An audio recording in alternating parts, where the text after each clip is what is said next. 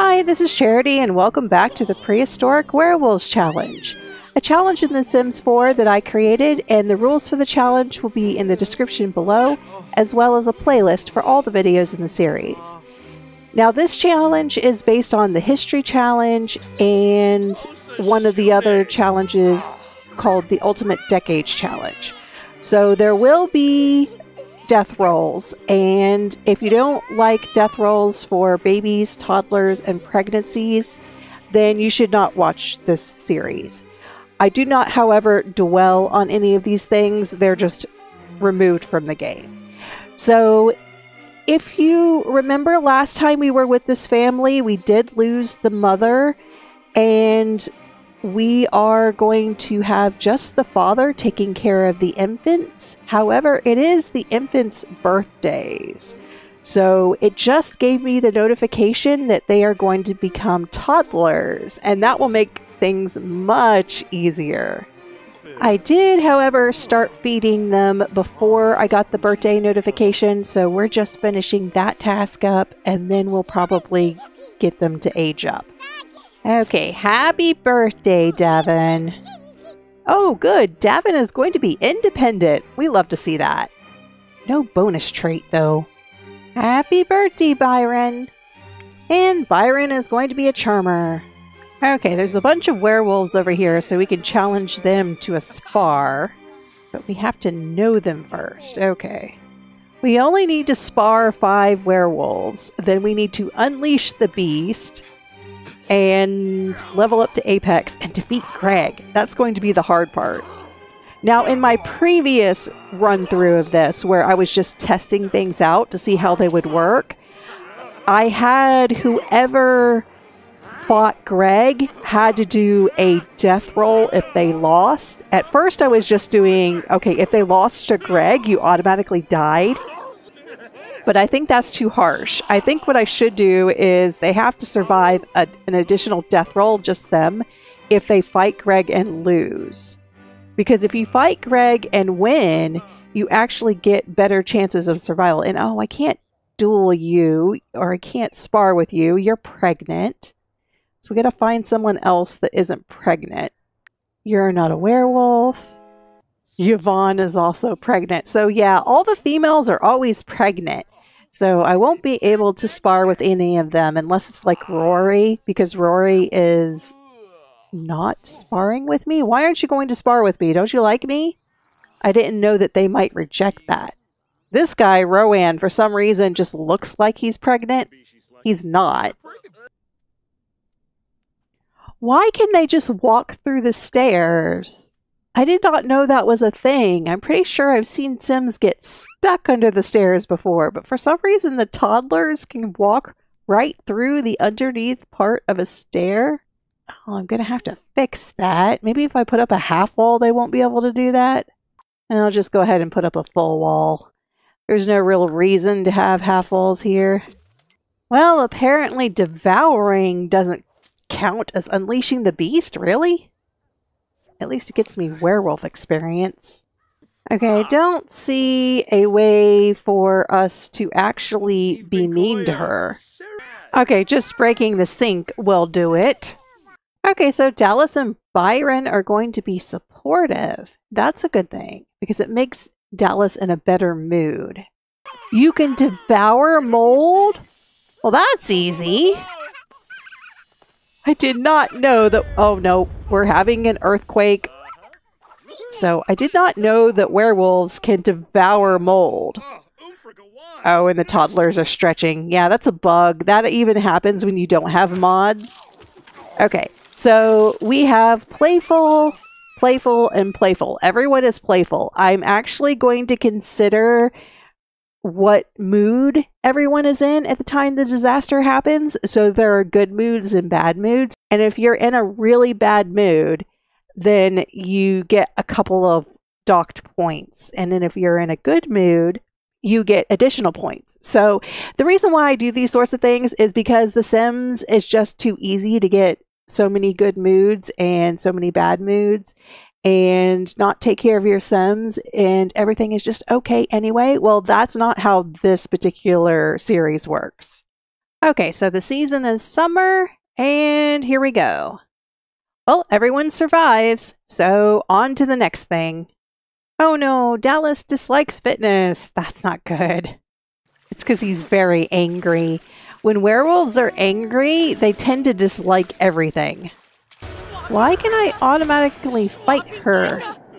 I haven't really introduced myself. Well, this is going to make her hate us, but that's okay. She won.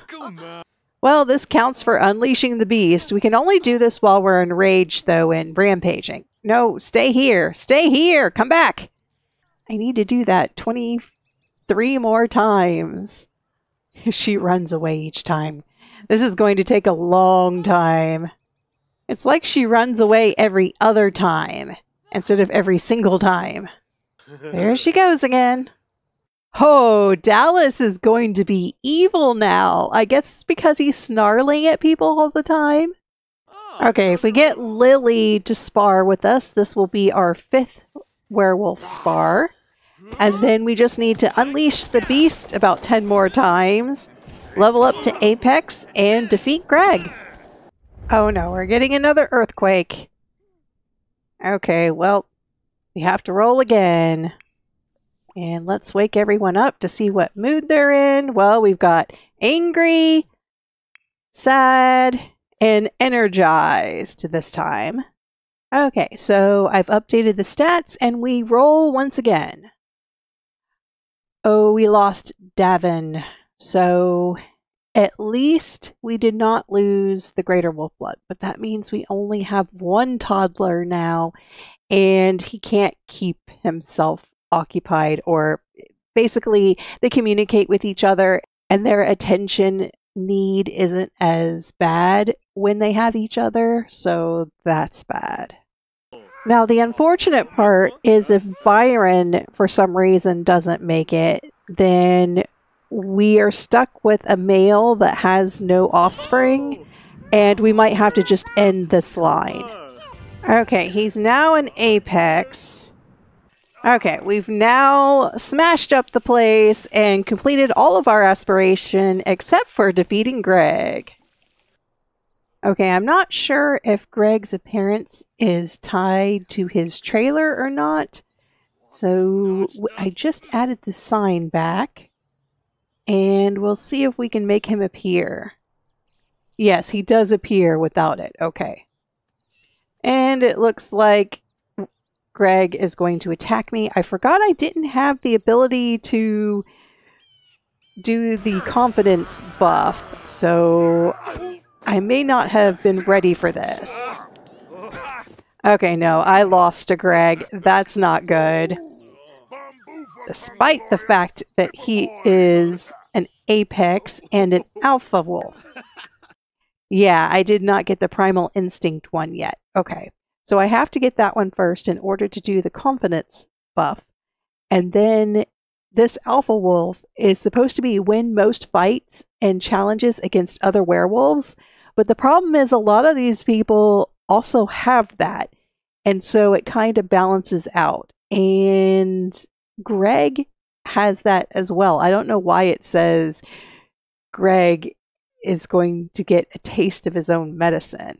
Okay, so we're just going to roll for Dallas since he lost to Greg. And he got an 81 and survived anyway. So it's not that hard to survive a death roll, but I think it's a little harsh to make losses to Greg an automatic death. Oh no, now they're strict. Okay, if you ask your toddler to do anything, you're considered strict. Because a toddler knows what he needs best. I mean, why wouldn't a toddler know when his diaper needs to be changed and when he's dirty and needs a bath? And well, I, I give the hunger part. They definitely know when they're hungry. But how can a toddler communicate to you that he needs a bath or that he needs his diaper changed? Because all the toddlers that I know are perfectly happy to go around in a dirty diaper and even perfectly happy to be dirty and not get a bath because they don't like getting their hair wet anyway. And if you are the one that to suggest, oh, you need a diaper change, you're considered strict. instead of just checking on the toddler and relying on them to ask for a diaper change. What kind of new age parenting is this, EA? Oh, and now he's being mean. Well, that's not good. Oh, why did he kick him? Come on, don't do that. It's hard to keep these toddlers from being mad. Well, he's confident, even though I didn't get to do my primal instinct. But he's probably not going to be confident for the entire fight. It's only 15 minutes left on it. Well, it's Friday. It's probably the last time I'll chance fighting Greg. Maybe. Oh, he won. Good. He finished his aspiration then. And that also gives him a benefit for having fought Greg and won. I think we'll try for the fishing aspiration next. But we should go home and sleep. My favorite part of toddlers is asking why because the adult has the best reactions. At first, they ponder, and then they kind of explain things. And then they get kind of upset. And then they get a little annoyed. And the more and more you do it, they get angrier and angrier. Tib? Tib? and then they just lose it. And if you keep doing it over and over again after they lose it, they keep losing it. So why is this kid asking why so many times? Because I need to increase my thinking skill. And also my communication. Plus he needs attention. So I'm getting three things done at once. Okay, we have mastered the thinking skill. Now we just need to work on communication. And we mastered communication. Alright, time to just play in the tent and play with the dollhouse. And we should be good. Well, we've made a lot of progress on the fishing aspiration. So we need to reach level 6 fishing and then we will be on the last step. So I think that's what Dallas is going to work on. And then hopefully Byron will grow into a child on Sunday, the next time we visit this family. So this is the end of the week, and we're going to say no more disasters. Hopefully, there isn't one while I'm talking here.